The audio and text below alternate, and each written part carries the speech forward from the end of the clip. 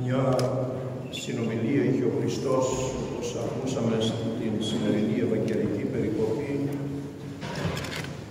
όταν κάποιος πλούσιος, ο οποίος πρέπει να κατήχει και κάποια κοινωνική θέση, πλούσιος άρχοντας το ονομάζει ο Ευαγγελιστής Λουκάς, πλησίασε τον Χριστό για να του υποβάλει το ερώτημα πώς θα μπορέσει να κερδίσει την Βασιλεία του Θεού. Και βεβαίως ο Χριστός του απαρίθμησε τις εντολές του νόμου, τις οποίες ο Μωυσής παρέλαβε από το Θεό στο όρο Σινά, ου κλέψεις, σου μοιχεύσεις, σου ψευδομαρτυρήσεις και ούτω καθεξής, Προσέθεσε όμως ο πλούσιος εκείνος ότι είπες στον Χριστό όλα αυτά που μου λες τα έχω τηρήσει από το, από το καιρό που ήμουν μικρό παιδί που ο νόμος τότε των Ιουδαίων επέβαλε την εφαρμογή του νόμου ακόμα και στα παιδιά από 12 ετών και άνω. Τότε ο Χριστός του είπε, το σου λείπει ένα πράγμα, τότε πήγαινε πώλησε όσα έχεις να τα διαμεράσεις στους φτωχούς και να, να με ακολουθήσεις. Βεβαίως ο άλλος Ευαγγελιστής που διηγείται το ίδιο γεγονός λέγει πως ο Χριστός όταν αντίκρισε το νέο αυτό πλούσιο έδειξε την συμπάθεια του προς τον άνθρωπο αυτό αλλά αυτό δεν ήταν αρκετό για τον άνθρωπο εκείνο γιατί όταν άκουσε τη συμβουλή του Χριστού έφυγε λυπημένος. Εδώ σε αυτό το κείμενο του Ευαγγελίου σήμερα έχουμε αρκετά προβλήματα ή και θέματα τα οποία μπορούμε να, να επεξηγήσουμε από το Ιερό Ευαγγέλιο. Το πρώτο βέβαια το οποίο θα μπορούσαμε να συγκρίνουμε αυτό που είπε ο Χριστός στο συγκεκριμένο άνθρωπο ο οποίος τον πλησίασε και του έθεσε τους όρους για να τον ακολουθήσει ήταν να απαλλαγή από ό,τι είχε που τον έδαινε στον κόσμο και να τον ακολουθήσει για να είναι όντως ένας πιστός ακόλουθος, ένας πιστός μαθητής του Ιησού Χριστού. Δεν έγινε αυτό και έφυγε λυπημένος. Αυτό μπορούμε να το συγκρίνουμε, άμα θέλετε, με αυτό που έκανε ο Χριστός με τους Αποστόλους Του. Όταν άρχισε να καλεί ένα-ένα τους Αποστόλους και μάλιστα μερικοί από τους Αποστόλους ήσαν ψαράδες όπως το γνωρίζουμε και πήγε στον τόπο που δούλευαν και κάλεσε τους πρώτους Αποστόλους, τον Πέτρο και τον Ανδρέα «Δε φταίω πίσω μου», τους είπε. Και αμέσως εκείνοι τον ακολούθησαν χωρίς οποιαδήποτε προϋπόθεση. Κατά τον ίδιο τρόπο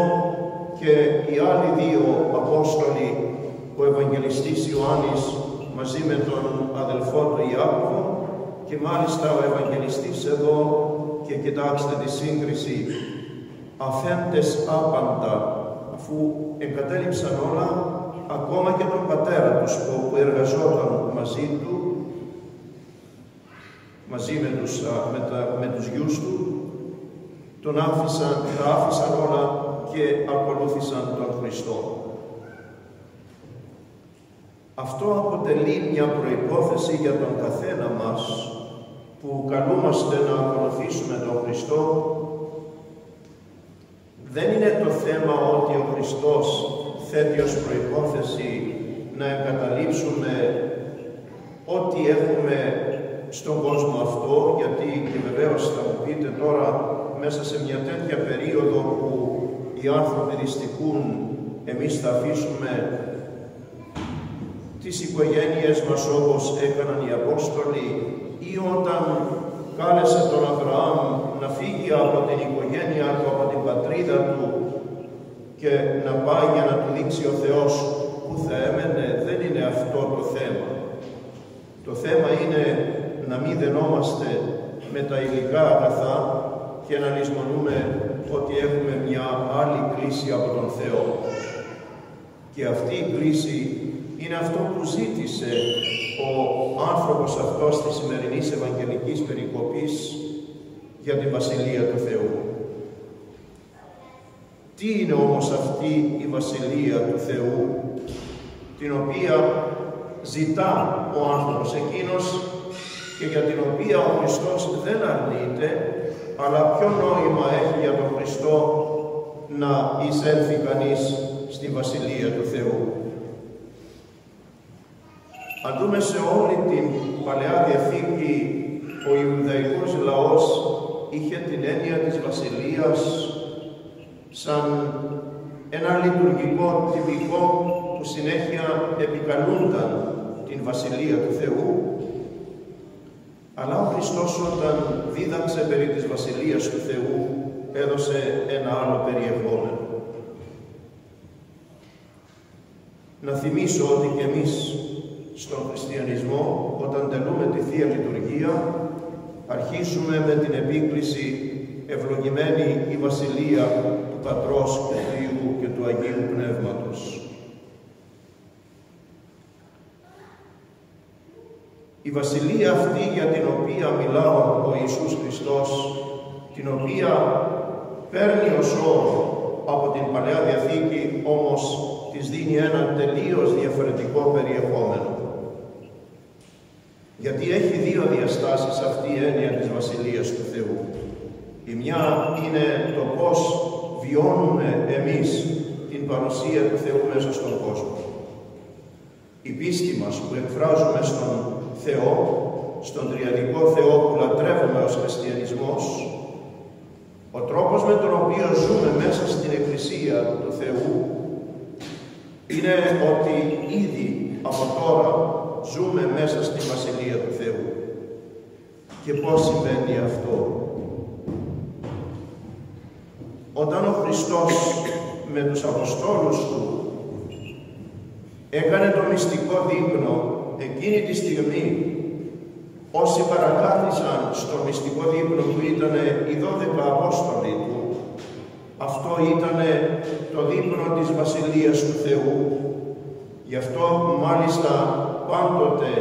όταν έχουμε την παρουσία του Θεού στον κόσμο ή ακόμα η παραβολή του Ιησού Χριστού για το μεγάλο δείπνο στο οποίο είχαν κληθεί πολλοί άνθρωποι αυτό αποτελούσε το δείπνο της Βασιλείας του Θεού. Γι' αυτό και για εμάς που ζούμε σε αυτόν τον κόσμο είναι το γεγονός ότι είμαστε οι κεκλημένοι του δείπνου της Βασιλείας του Θεού που δεν είναι τίποτα άλλο παρά η συμμετοχή μας στην Θεία Ευχαριστία. Αυτό είναι το δείπνο της Βασιλείας του Θεού. Δηλαδή εμείς που ζούμε σε αυτόν τον κόσμο μετέχουμε ήδη της Βασιλείας του Θεού όταν μετέχουμε της, της Θείας Ευχαριστίας του σώματος και του αίματος του Χριστού. Αυτό όμως πρέπει να το γνωρίζουμε ότι μετέχοντας αυτό το δείπνο της Βασιλείας του Θεού για το οποίο ο Χριστός είπε κατά την ώρα του μυστικού δείπνου στους μαθητές του ότι αυτό τον ίνο που χρησιμοποίησε ο Χριστός για τον μυστικό δείπνο με τους Αποστόλους του θα το πιο κενό και τον άνθρωπο θα τον φάω νέο καινούριο στην αιώνια βασιλεία πλέον του Θεού. Άρα μετέχοντας σε αυτό το δείπνο και δεχόμενοι την διδασκαλία του Ιησού Χριστού σημαίνει ότι δένουμε τη ζωή μας με την παρουσία του Θεού μέσα στον κόσμο. Άρα δεχόμαστε εμείς την κλίση που είπε ο Χριστός «Έλα να με ακολουθήσεις». Αυτή δεν είναι μια κλίση που απευθύνθηκε μόνο στους Αποστόλους, μόνο στους προφήτες, μόνο σε εκείνους τους ανθρώπους που ήταν, που ζούσαν και είδαν τον Χριστό, γιατί και εμείς ζούμε μέσα στην Εκκλησία Του και ο καθένας από εμάς δέχεται την κλίση να ακολουθήσει τον Χριστό, να δεχθεί τη διδασκαλία του Ευαγγελίου Του, να γίνει μέτοχος του δείπνου του μυστικού που είναι η Θεία Ευχαριστία που ακόμα και σήμερα τελούμε αυτή είναι η Βασιλεία του Θεού που περιμένουμε στα έσπατα, περιμένουμε όταν θα έρθει ο Χριστός πλέον να κρίνει τον κόσμο για να μας εισαγάγει όλους μέσα στη Βασιλεία του Θεού. Εμείς ζούμε από εδώ και τώρα αυτή την αιώνια Βασιλεία του Θεού. Επομένως, ζώντας στη Βασιλεία του Θεού, σημαίνει ότι έχουμε την άμεση σχέση με τον Θεό. Γιατί πρέπει να προσέξουμε στη ζωή μας ότι δεν πρέπει να αποκόψουμε τον εαυτό μας, τη σχέση μας με τον Θεό, επειδή μέσα στον κόσμο μας σήμερα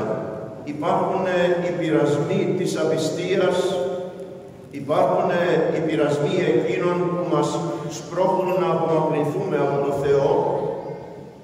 μπορεί να υπάρχουν και τα υλικά αγαθά και όταν επιδιδόμαστε μόνο για τα υλικά αγαθά, λησμονούμε όμως πιθανόν στην καθημερινότητα της ζωής μας ότι πρέπει να διατηρούμε τη σχέση μας με τον Θεό γιατί έτσι είναι που θα γίνουμε τέκνα της Βασιλείας του Θεού. Και βεβαίως η άλλη όψη της Βασιλείας του Θεού είναι ήδη αυτή που ανέφερα ότι όταν ο Χριστός φανερωθεί θα έρθει δηλαδή στη Δευτέρα του Παρουσία τότε θυμηθείτε την διοίκηση της παραβολής που μας είπε ο Χριστός ότι όλα τα έθνη θα μαζευτούν ενώπιον του Χριστού κριτή και θα πεις σε εκείνους που παρέμειναν πιστοί στο κάλεσμά Του δεύτερη ευλογημένη του Πατρός μου κληρονομήσατε την ετοιμασμένη νημή βασιλεία από καταβολής κόσμου. Αντίθετα με εκείνους οι οποίοι αρνήθηκαν τον Χριστό δεν έπραξαν τα έργα της αγάπης, δεν έδειξαν την δέουσα πίστη προς τον Θεό και γι' αυτό δεν μπορούν να αξιωθούν αυτής της αιώνιας Βασιλείας του Θεού. Αυτό είναι που δεν είχε καταλάβει ο άνθρωπος του σημερινού Ευαγγελίου και γι' αυτό έφυγε λυπημένος. Βεβαίως υπάρχει και η τελευταία δι, ε, ο τελευταίος διάλογος του Χριστού με τους μαθητές του όταν το ρώτησα μα εν αυτή περιπτώσει εάν είναι τόσο δύσκολο κάποιος να σωθεί τότε πώς είναι δυνατό όλοι μας εμείς που μας καλεί ο Θεός να σωθούμε; Και η απάντηση του Ιησού Χριστού πρέπει να την έχουμε πάντοτε κατά νου ότι όσα είναι αδύνατα κατά τη δική μας αντίληψη, κατά τις δικές μας δυνάμεις, τα πάντα είναι δυνατά για τον Θεό. Γι' αυτό αυτό που χρειάζεται από τον καθένα από μας είναι να δείξουμε την πίστη μας, να γίνουμε πιστοί μέσα στην εδώ και τώρα Βασιλεία του Θεού, δηλαδή μέσα στην Εκκλησία μας, να γίνουμε ακόλουθοι του Χριστού και τότε όλα τα άλλα θα τα αφήσουμε στη χάρη του Θεού που Εκείνος θα οδηγήσει στον, τον καθένα από εμάς να γίνουμε μέλη της αιώνιας Βασιλείας του Θεού. Αμήν.